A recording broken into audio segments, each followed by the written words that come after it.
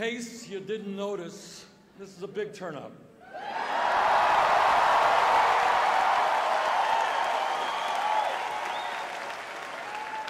Let me thank Troy for that very generous introduction. Let me thank my wife Jane for walking me up here.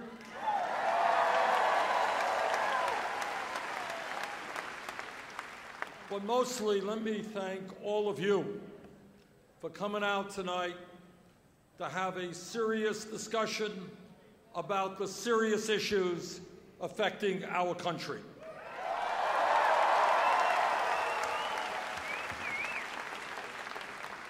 You know, in recent weeks, we've had great turnouts all over this country. Uh, we had some 10,000 people coming out in Madison. We have crowds in Minneapolis, in Denver, all throughout Iowa, in New Hampshire. And look at this turnout here tonight in Portland.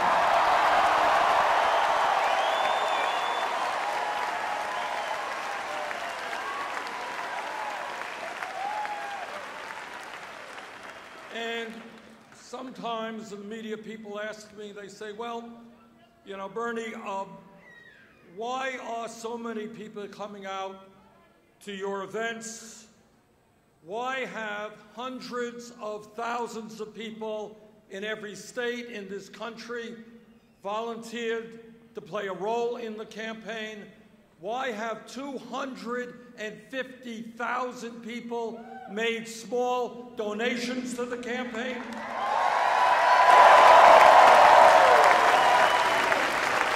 Why are grassroots organizations popping up all over America? And the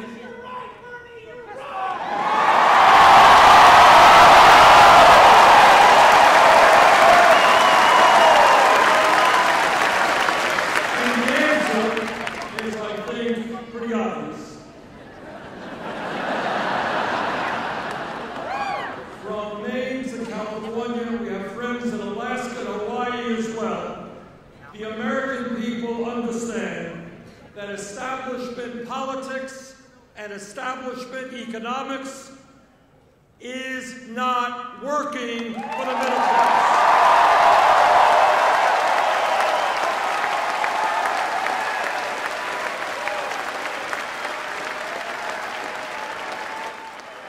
They understand that the greed of Wall Street and the greed of corporate America is destroying the great middle class of this country.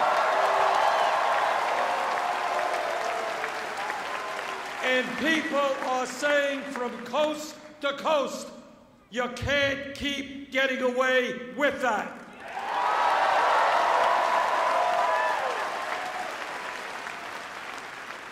And people understand that in this great democracy, the longest democracy in American history, that it is not acceptable that a handful of billionaires are now controlling our political process.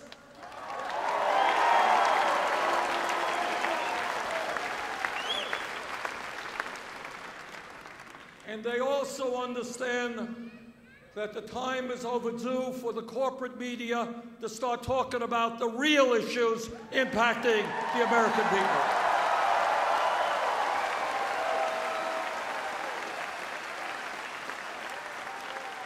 In other words, all over America, people are becoming involved in this campaign because they want change, real change, and that is what this campaign is about.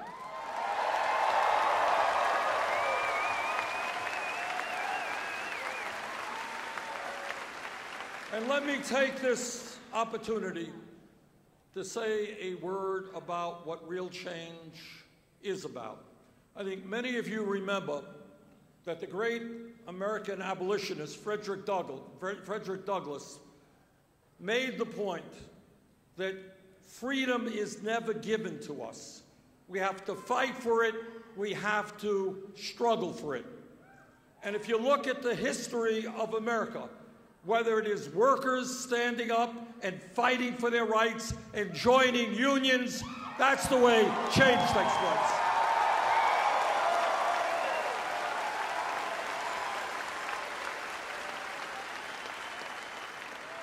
And when we had an apartheid system in this country, African Americans stood up and said, enough is enough. They joined with their white allies. We broke down the walls of segregation and racism.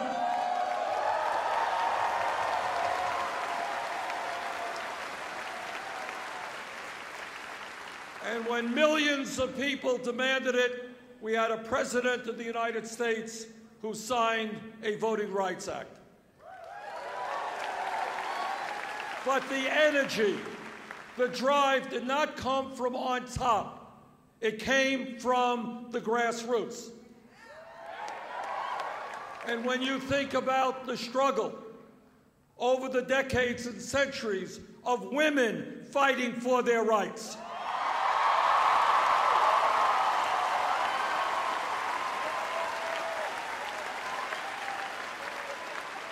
we think about the suffragettes, women who fought went to jail, sometimes died, to say that in America, women will not be second class citizens.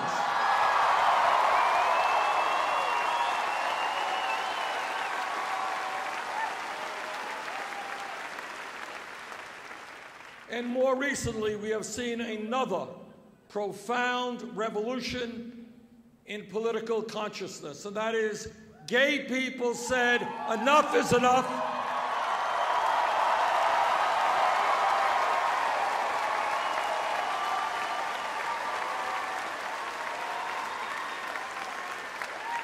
We will not be intimidated.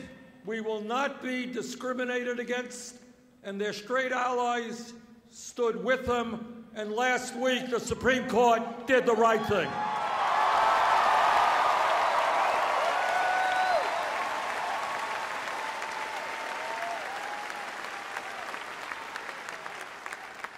What is my point? My point is a simple one. Is that if we want real change, it's not just electing someone, hopefully me,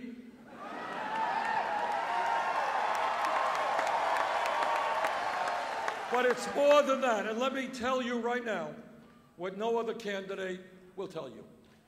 And that is that no one who is elected President of the United States can do it alone. No one in the White House will have the power to take on Wall Street alone, corporate America alone, the billionaire class alone.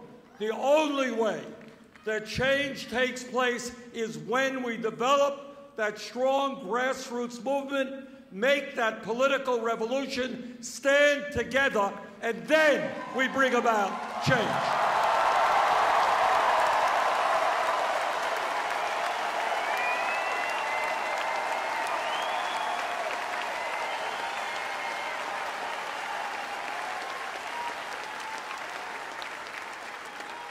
And when the people start moving, then the people on top start listening. Let me just give you a few, very few examples.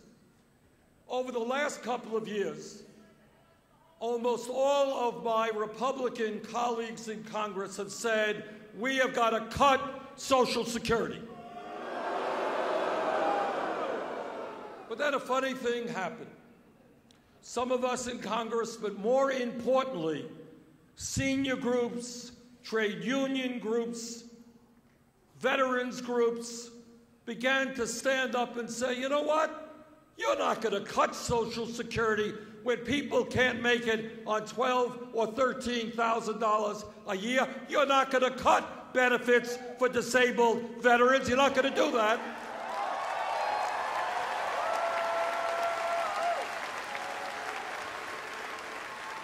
And in fact, what you are going to do is expand Social Security benefits.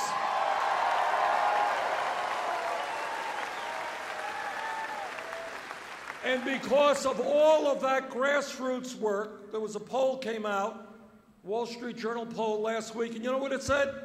It said that by a three to one margin, the American people now believe we should expand Social Security benefits by lifting the cap on taxable income.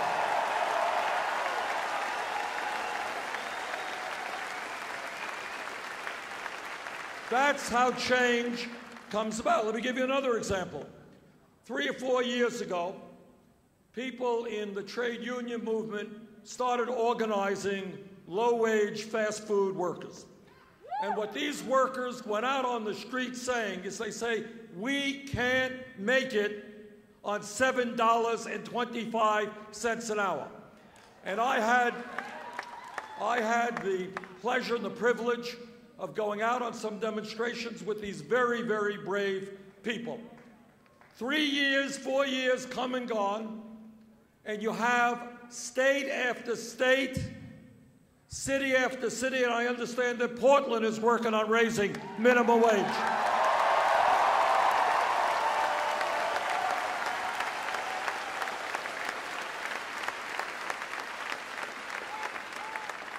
Here's what's interesting. In Congress, we have a bill. Republicans, of course, are opposed to any raising the minimum wage. Democrats have a bill which says let's raise the minimum wage to 10 cents an hour. But you know what the American people say? 10 cents ain't enough. They want $15 an hour.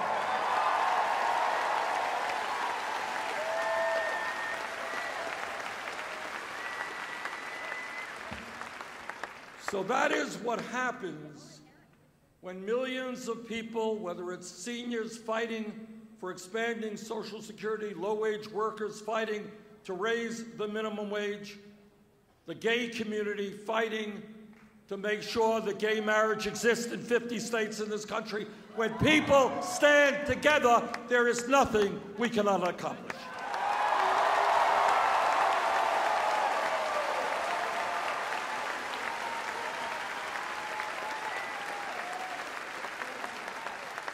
That is what this campaign is about. It is not about me, it is about you.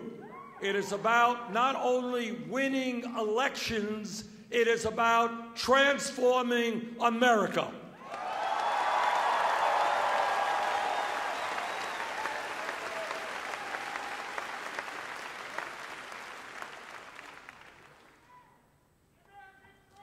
When we talk about the serious issues facing this country, at the top of my list is the disgrace that in our country today we have more income and wealth inequality than any other major industrialized nation on earth. And brothers and sisters, together we are going to end that disgrace.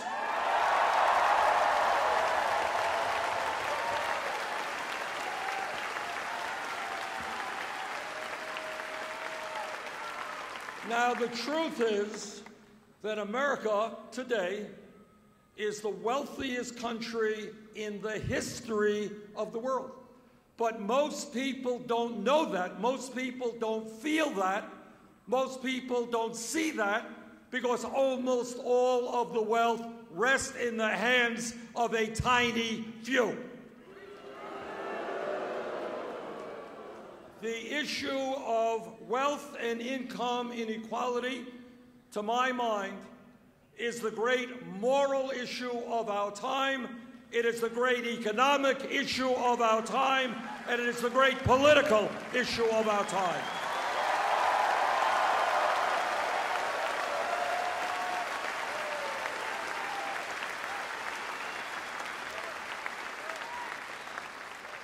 Let me be as clear as I can be.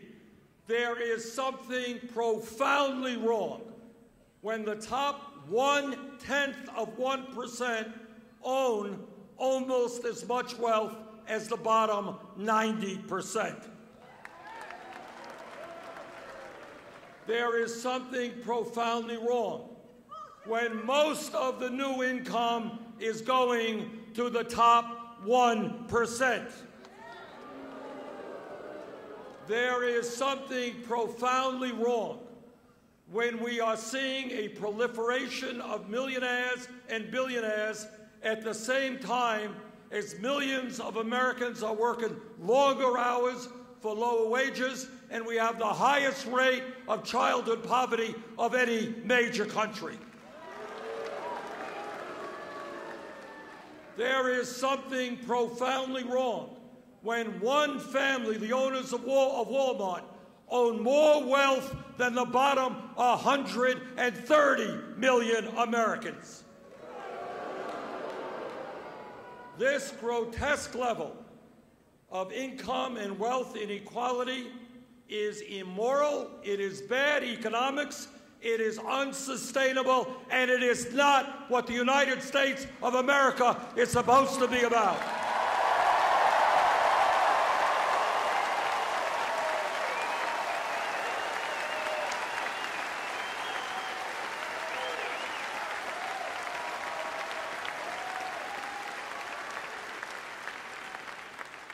And let me not equivocate.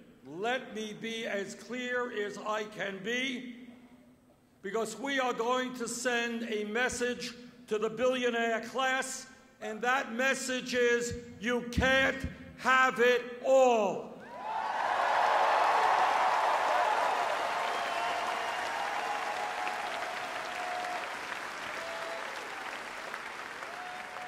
You can't get huge tax breaks when children in America go hungry.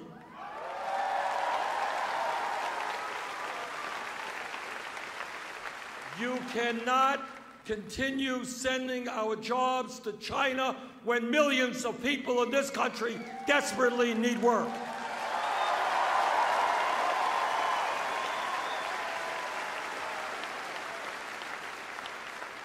You cannot hide your billions in profits in the Cayman Islands and other tax havens while we have massive unmet needs in this country.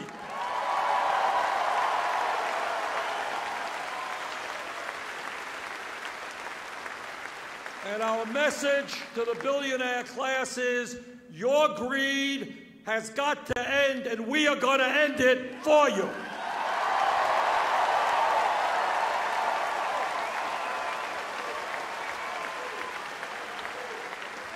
The billionaire class cannot take advantage of all of the benefits of America if they refuse to accept their responsibilities as Americans.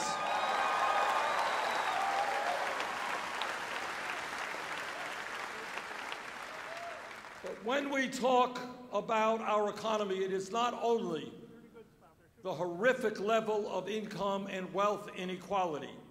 It is the tragic reality that for the last 40 years, the great middle class of our country, the middle class that was once the envy of the entire world, has been disappearing.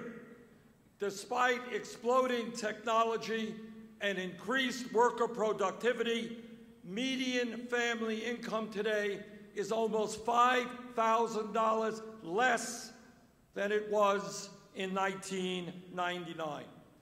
In the state of Vermont, in the state of Maine, and all over America, we have working people who are working not just one job, but two jobs, three jobs, just to cobble together an income in order to survive and to get some health care. That is not the economy that we need.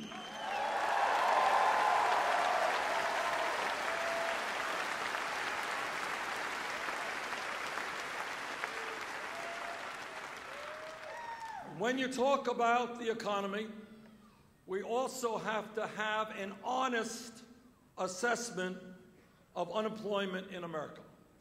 Now, once a month, the government publishes a set of figures. And the last figures they published said that official unemployment was 5.4%. But there is another set of government statistics. And that says that real unemployment, if you include those people who have given up looking for work and the millions of others who are working part time, 20, 25 hours a week, when they want to work full time. If you add all of that together, real unemployment is 10.5%. But let me tell you something that is even more frightening and is an issue that we do not talk about at all. And that is the tragedy in this country of youth unemployment. And I don't care if nobody else talks about this issue, we will talk about this issue. And here's why.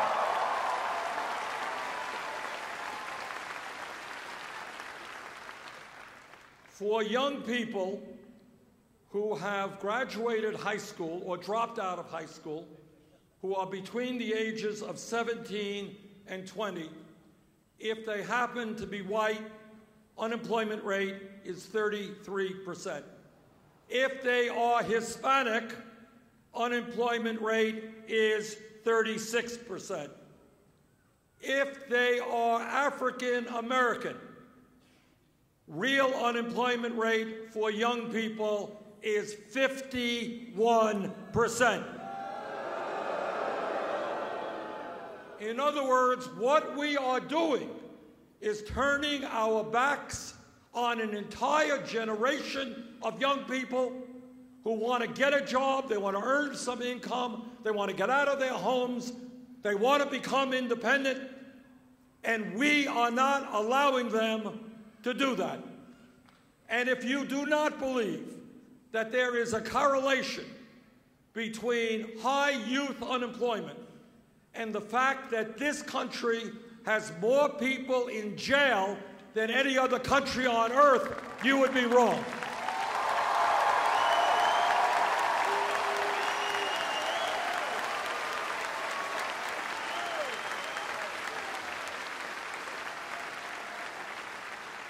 Now, how does it happen that in this great nation we have more people in jail than the communist authoritarian country of China, which has over three times our population.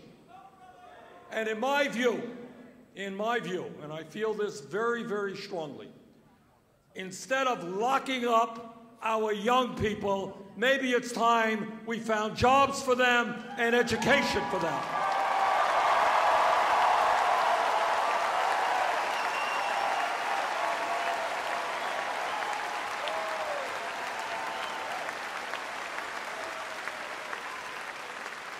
And maybe it's time we began to rethink the so called war on drugs.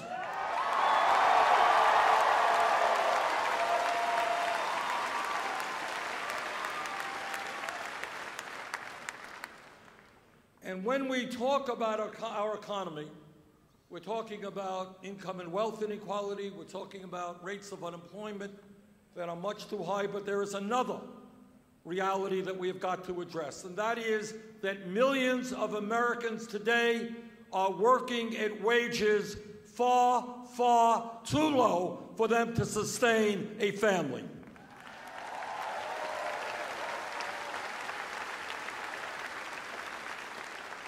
I recently talked to a guy who works with a church group who collects food to bring to an emergency food shelf. And what he told me, I asked him, well, tell me, how many, what percentage of the people who go to the emergency food shelf are working people? And he said 90% of them are working. In other words, what we see all over America is that people are working 40 or 50 hours a week, but they are not earning enough money to provide adequately for their families. What we have got to recognize is that the federal minimum wage of $7.25 an hour is totally inadequate. It is a starvation wage. We've got to raise the minimum wage to a living wage.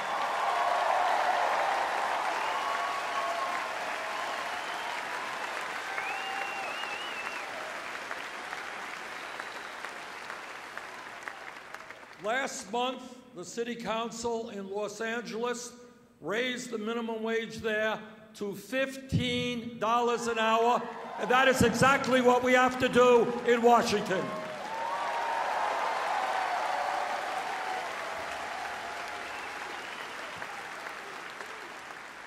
It is not a radical idea to say that in America, somebody who works 40 hours a week should not be living in poverty.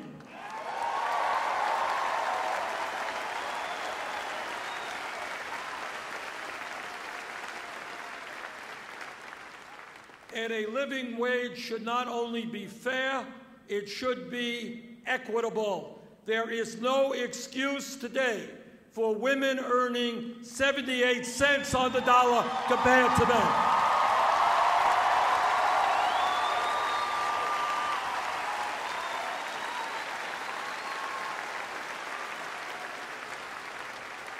We need pay equity for women workers, and when we do that, we take a big chunk out of poverty in this country.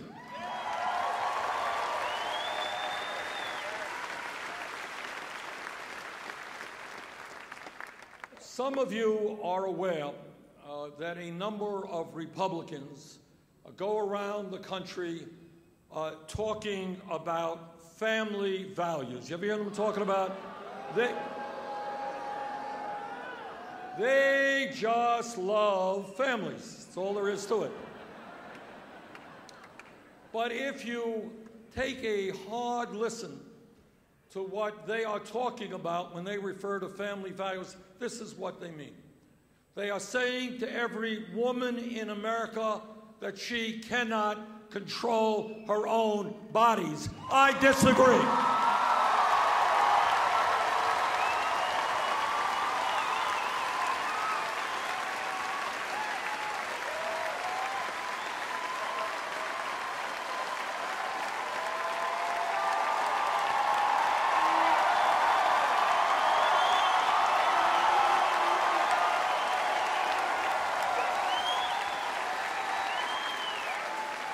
Let's say it loud and clear.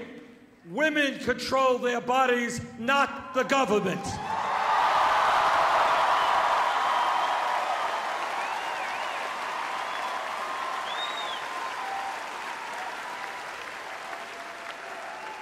And when the Republicans talk about family values, what they mean, quite literally, is that women should not have the right to purchase the contraceptives that they need. And when they talk about family values, they tell us that our gay brothers and sisters don't have the right to start a family, don't have equal rights in America. Well, you and I have a very different vision and view of family values.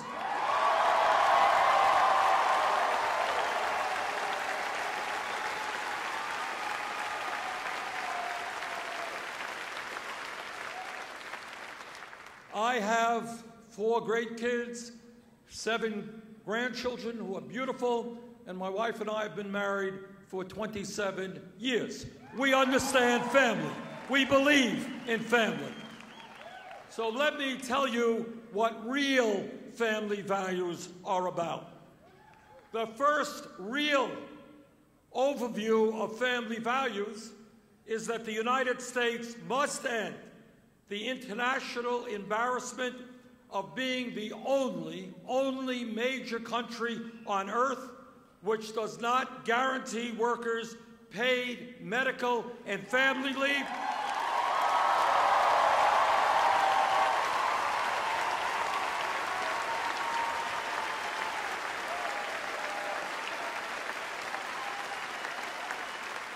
The only major country on earth that does not guarantee paid sick time or paid vacation time.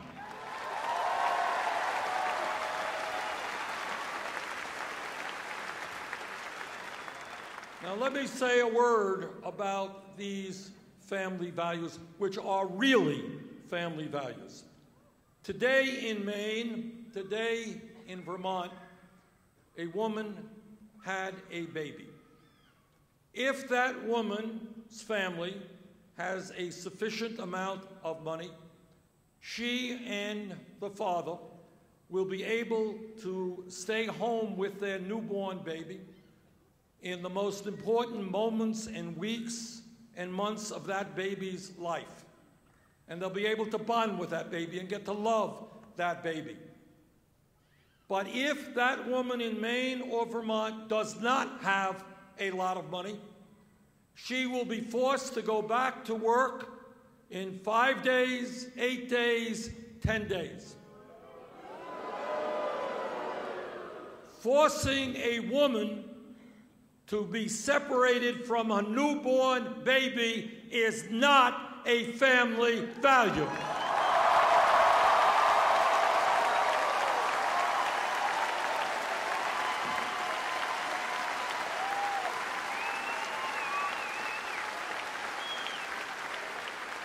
And that is why I will demand that the United States of America join the rest of the world and provide at least 12 weeks of paid family and medical leave.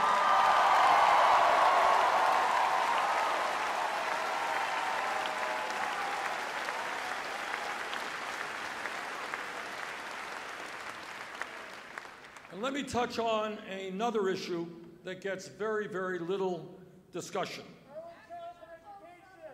And that is, that is, that as a result of the collapse of the American middle class, and as a result of the fact that many of our people are working longer hours for lower wages, it turns out that our people are now working the longest hours of any other people in a major industrialized country.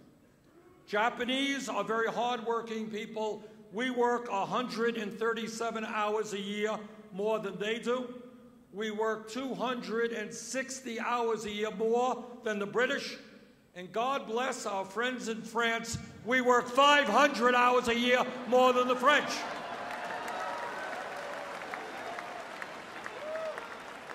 Now, the point is that I get around the country and I talk to a lot of working men and women. And often what I see in their faces is exhaustion. People are tired. They're tired of working incredible hours. They're tired of not being able to have the family together. I will never forget Burlington, Vermont, outside of a grocery store. A woman telling me, Bernie, my husband and I have one kid we want to have more children. I'm working three jobs. He's working two jobs. We don't know that we can be the parents we want to be.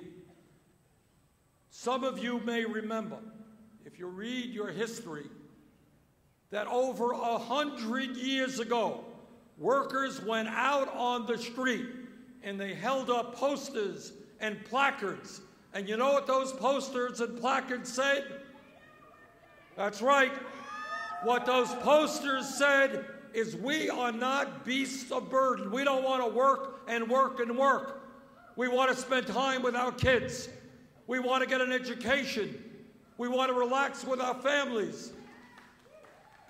But today, unbelievably, a hundred years have come and gone, and 85% of working men 66% of working women are working longer than 40 hours a week. The least that we can do in this country is guarantee every worker two weeks of paid vacation.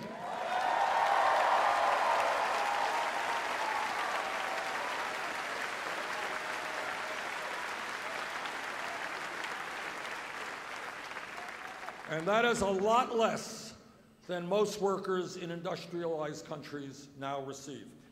You know, when pollsters go out and they call you up and they say, well, tell me, I'm doing a poll for Gallup or for the Wall Street Journal or whatever, tell me what is uppermost on your mind.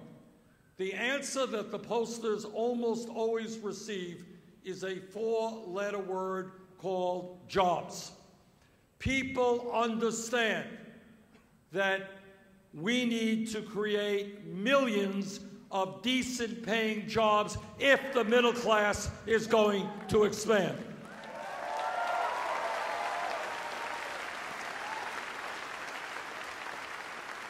As all of you know, our infrastructure, our roads, our bridges, water systems, our wastewater plants, our rail system, our levees, our dams, in many parts of this country, they are crumbling.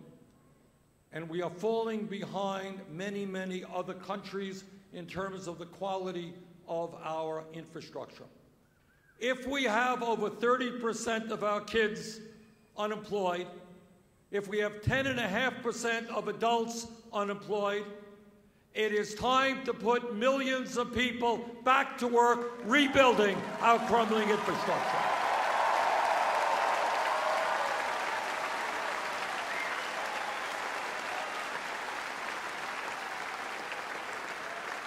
I have introduced legislation that would invest $1 trillion over a five year period to rebuild our infrastructure. That would create and save 13 million jobs, and that's what I will fight for as President of the United States.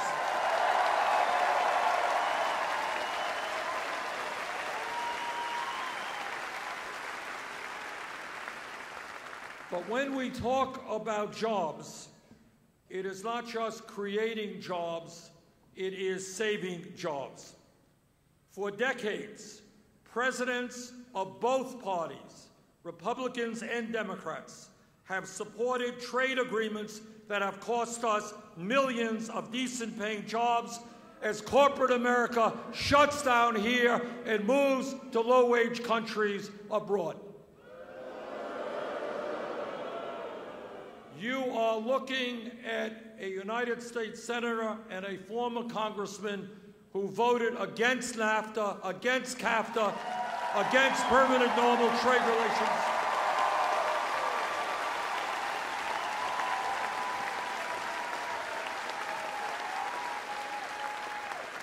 We need a trade policy in this country which demands that corporate America start investing in the United States, not just in China. A trade agreement which works for working families and not just the CEOs of large corporations.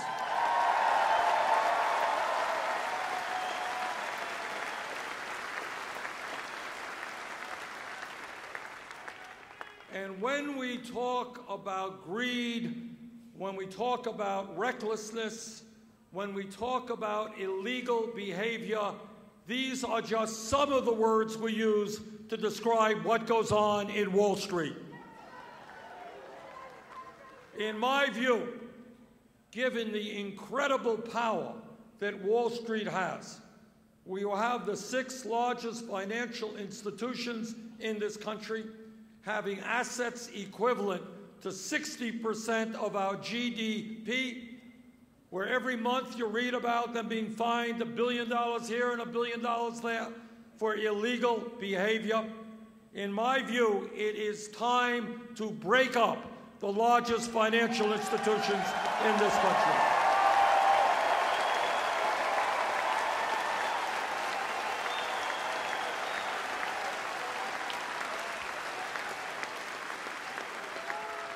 We need a banking system that is part of creating a productive economy, making loans to small and medium-sized businesses, helping us create jobs, not a financial institution which is an island unto itself, only concerned about making huge profits. If a bank is too big to exist, that bank is too big.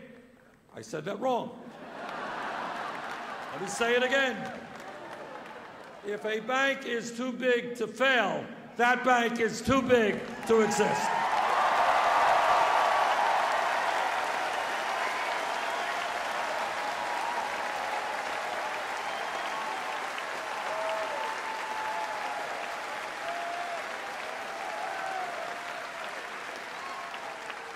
Let me touch on another issue that I know all of you are familiar with. And let me be as blunt as I can be, in case you haven't felt that I was blunt enough, and tell you that as a result of the disastrous Supreme Court decision in the Citizens United case, you're right. As a result of that decision, the American political system has been totally corrupted and the foundations of American democracy are being undermined. What the, what the Supreme Court essentially said to the wealthiest people in this country is, okay, guys, you already own much of our economy. Today is your lucky day. We are now going to give you the opportunity to purchase the United States government, and that is precisely what they are doing this very moment. When you have just one family, and there are more than one, but one family, the Koch brothers, ah, you know about the Koch brothers. This is a family, media doesn't talk about it much. This is a family that wants to destroy Social Security, Medicare, Medicaid, the U.S. Postal Service. They want to do away with the concept of the minimum wage. They want to repeal every piece of legislation passed in the last 75 years that protects working families.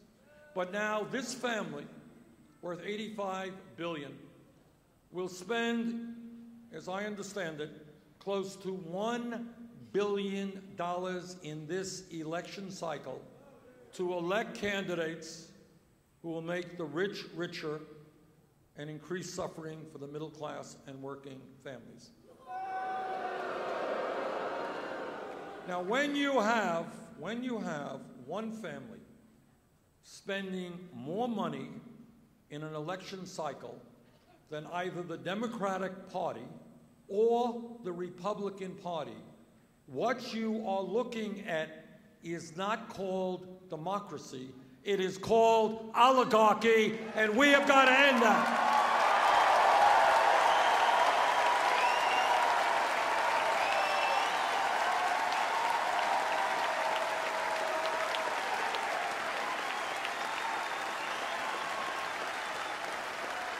The United States of America and our government are not for sale.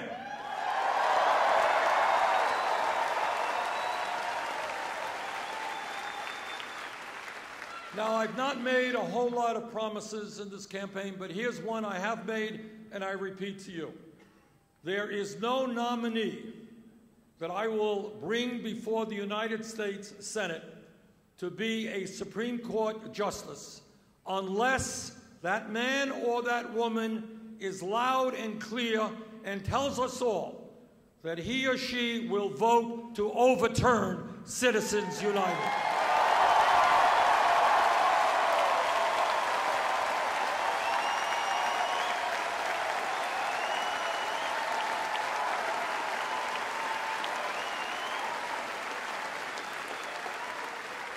But we have got to go further than that. It's not just a question of overturning this disastrous decision. If we believe, as I think all of us do, that we want the United States to be a vibrant democracy where we have the highest voter turnout of any country on earth, not one of the lowest, where young people, regardless of their political point of view, or anybody, working person, wants to run for office, that they can run for office without begging millionaires for campaign contributions.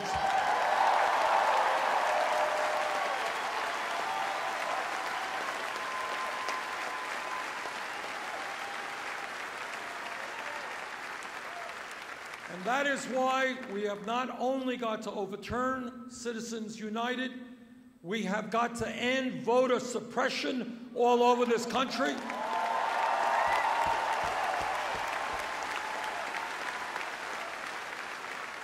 And most importantly, we have got to move toward public funding of elections.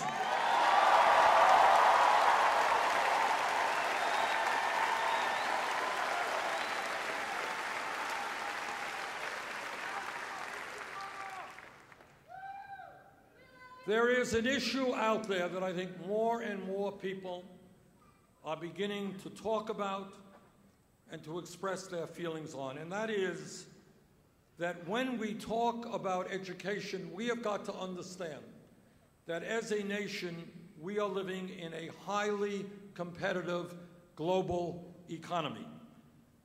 And if we are going to make it as a nation, if we are going to create the decent paying jobs that we need, we must have the best educated workforce in the entire world.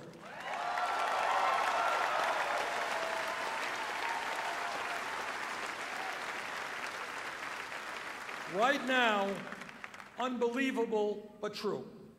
Right now in America, in Maine, in Vermont, and all over this country, we have hundreds of thousands of bright, qualified, ambitious young people who not only want to make it into the middle class, but they want to serve their country in a variety of ways.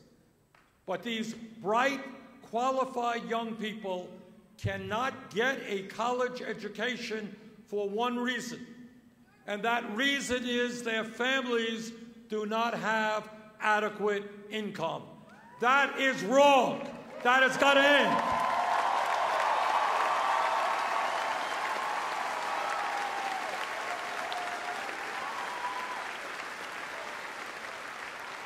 We have got to make certain that in this country, all of our people who have the desire and who have the ability are able to get all the education that they need, regardless of their income.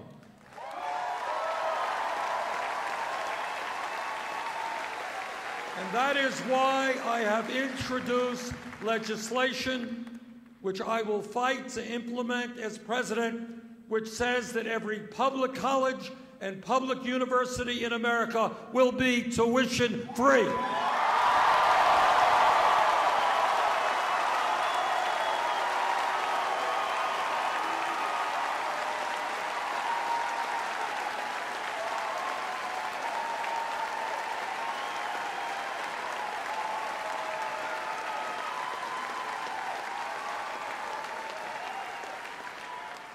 Now, this is important to our country for a whole lot of reasons. We need scientists, we need engineers, we need teachers, we need police officers, we need a well educated population. And it makes no sense to me that as a nation we say to hundreds of thousands of young people, sorry, you're not going to get that education. But I'll tell you, it goes beyond even that. Because in Maine, in Vermont, and all over this country, there are kids today in the fourth grade, the fifth grade, the sixth grade. Their parents didn't go to college. Their family doesn't have much money. The people they know never went to college. And these kids instinctively understand that because their families lack decent income, no matter how well they do in school, no matter how hard they try, they're never going to make it into the middle class and they're never going to get a college education. When we make public colleges and public universities tuition free, we are saying to every child in America that yes, if you study hard, you will be able to get a college education.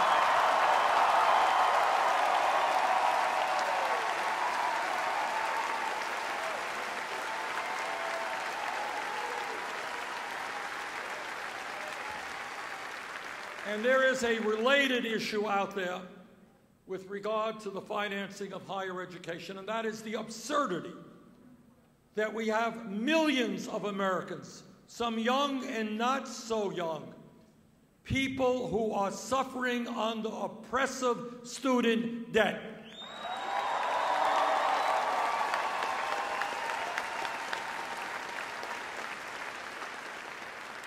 I have talked to people whose crime in life was that they went to law school, they went to medical school, they went to dental school, and they left school hundreds of thousands of dollars in debt. I have talked to, and I suspect there are people here tonight who are paying 20, 25% of their incomes in student debt. And here is what is absurd. If you go out and refinance your home tomorrow, you could do it at 2, 3, 4% interest rates. And yet we have millions of people paying 6, 8, 10% interest rates on their student debt. Furthermore, we have the United States government now making billions of dollars in profits off of the high interest rates that working class families are forced to pay to send their kids to college.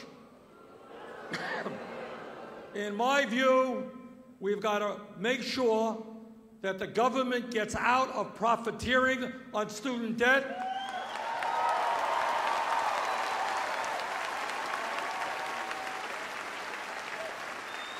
that people holding that debt can refinance it at lower interest rates. And when we do that, we can bring interest rates down by more than half.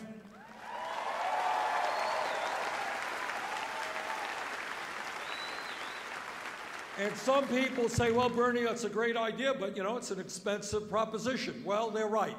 It's about 70 billion a year. It is an expensive proposition, and we're going to fund it by putting a tax on Wall Street speculation.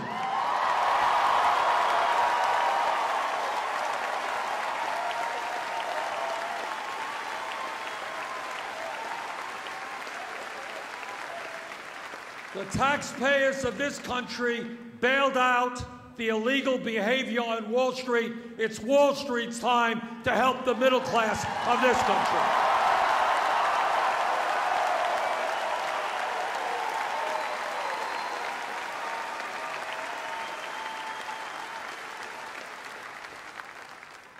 When we talk about our responsibilities as human beings and as parents, there is nothing more important than leaving our planet healthy and habitable for our kids and our grandchildren.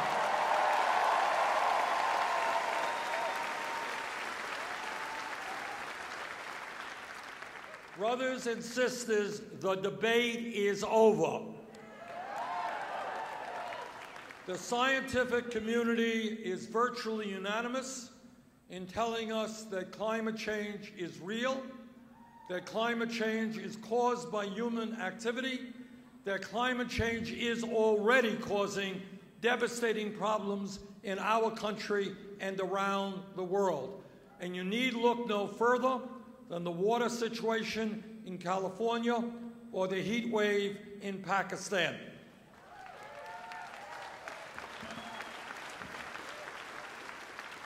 And what the scientists are also telling us is that we have a small, short window of opportunity to transform our energy system before a bad situation becomes much worse.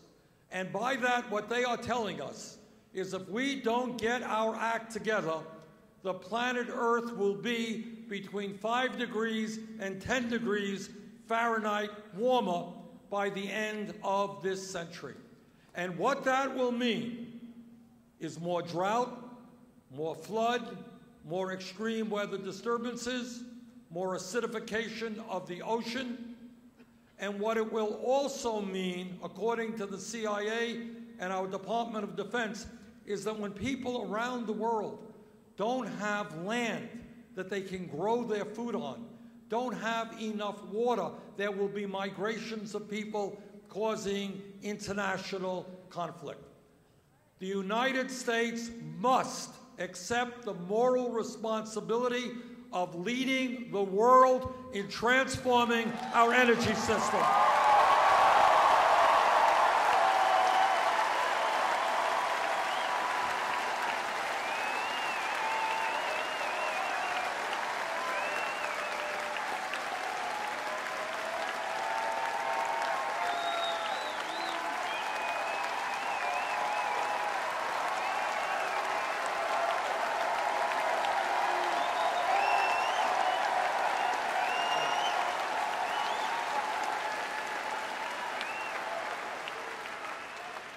And when we lead the world in moving away from fossil fuel to energy efficiency and such sustainable energies as wind, solar, geothermal, and others, China, Russia, India, and other countries will follow us.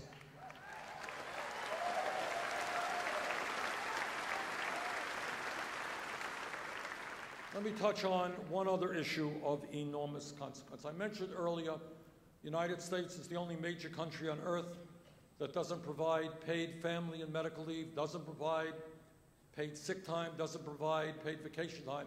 But there is another area that we are lagging far, far behind every other major country.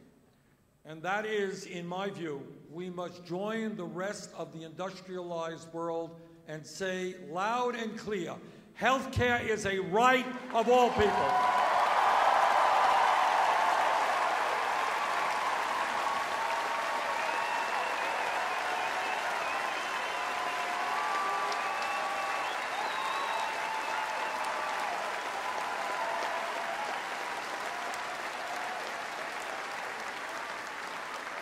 And that is why I strongly support our country moving toward a Medicare for all single payer program.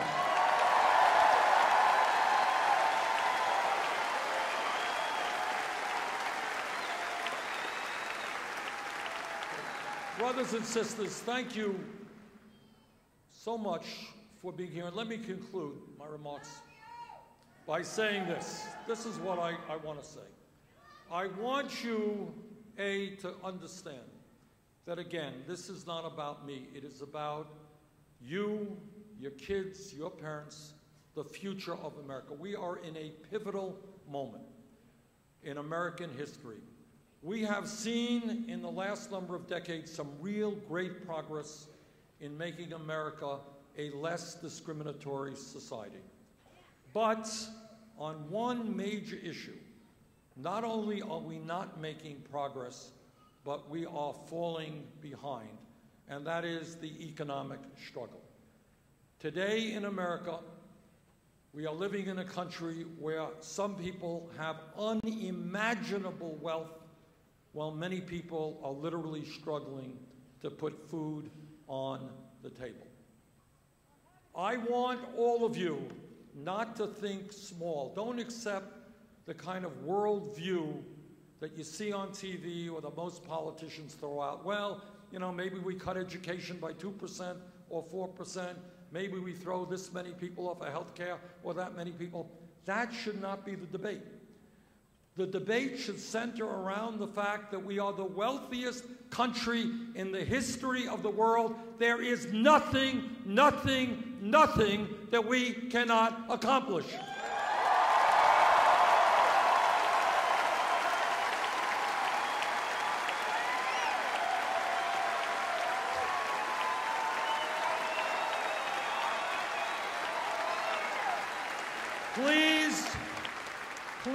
Don't tell me that the United States of America, our great country, cannot guarantee health care to all people. Don't tell me that. Don't tell me, don't tell me that in this country we can't have the best pre-K and child care system in the world.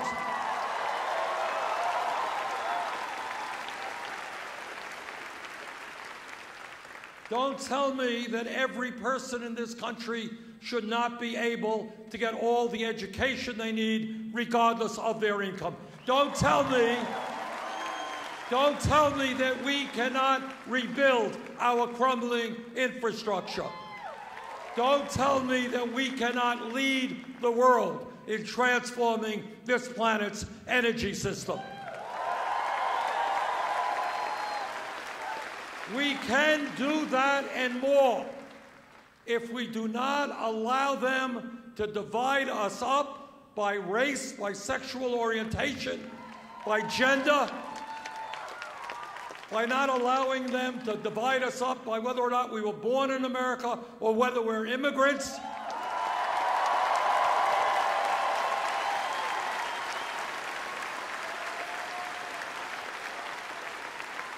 When we stand together as white and black and Hispanic and gay and straight and woman and man, when we stand together and demand that this country works for all of us rather than the few, we will transform America. And with your help, that is what we're going to do. Thank you very much.